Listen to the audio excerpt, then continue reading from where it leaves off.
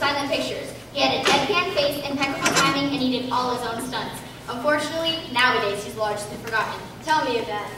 Okay, this is scene one of the motion picture supercars produced by P.G. Griffin. Excuse me, Mrs. PG. Do you think I'm gonna play the role of the evil genius? Sorry, Vlad. We decided to go with Kevin Spacey. He was so good as Lex Luthor. Besides, acting in a movie doesn't count as community service then. You three oh, owe Comedyville some major time. Excited about the movie, Bobby? Oh, sure I'm excited. You know, even though you're taking the antidote, you still seem a little droopy. I kind of like being droopy. It's a new kind of comedy I'm working on. I figured I'd call myself Droopy the Clown. Please, everybody, can I have super comics on stage, please?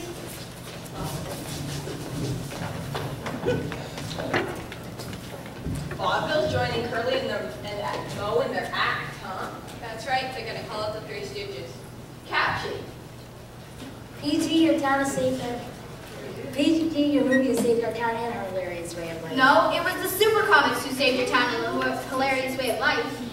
Super comics, please hit your opening pose. And action! In the darkest days of Comedyville, a team of superheroes emerged who pledged the fight for truth, justice, and the hilarious way of life. 목을